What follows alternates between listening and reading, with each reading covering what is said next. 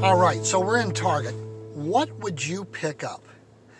A Topps Chrome Update hanger box? Topps Update Chrome value packs? Regular hanger boxes of Update?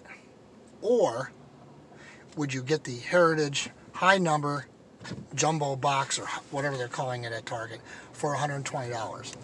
You can pick three items. That's the store limit. What would you buy? Put it in the comments below and don't forget to subscribe and ring that notification bell for the channel. Thanks again.